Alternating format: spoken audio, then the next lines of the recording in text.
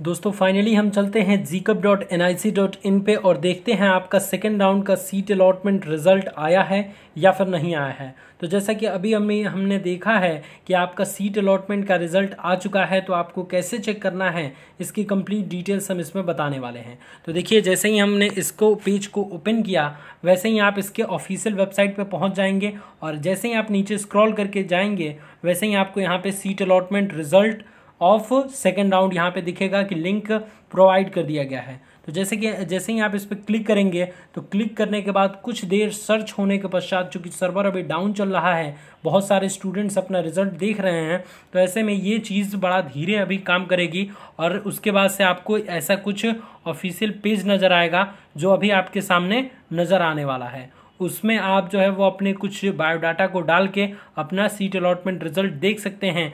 कि आपको कौन सा कॉलेज मिला या फिर कॉलेज सेकंड राउंड में नहीं मिला। तो इसके लिए हम कुछ देर वेट करते हैं ताकि पेज ओपन हो जाए। फाइनली दोस्तों पेज ओपन हो चुका है और यहाँ पे लिखा है UP join entrance exam UP JEE ठीक है? यहाँ पे आपको सेलेक्ट करना है काउंसलिंग बोर्ड ठीक है? उसके बाद से यहाँ पे अपना रोल नंबर एंटर करना है, जो भी आपका रोल नंबर है, जो भी पासवर्ड है, वो आपको डालना है और नीचे का सिक्योरिटी पिन ये यहाँ पे एंटर करके और साइन इन पे क्लिक करना है। जैसे ही आप साइन इन पे क्लिक करेंगे, आपको पता चल जाएगा कि आपको सेकेंड राउंड में कोई सीट मिली या फिर नहीं मिली। ये वीडियो आपको कैसा लगा? इस वीडियो को अपने दोस्तों में शेयर कर दीजिए ताकि उनको भी पता लगे कि seat allotment result second round के लिए अनाउंसमेंट हो चुका है। और आगे की अपडेट के लिए आप हमारे चैनल को सब्सक्राइब कर सकते हैं। इस वीडियो को लाइक कर सकते हैं। धन्यवाद।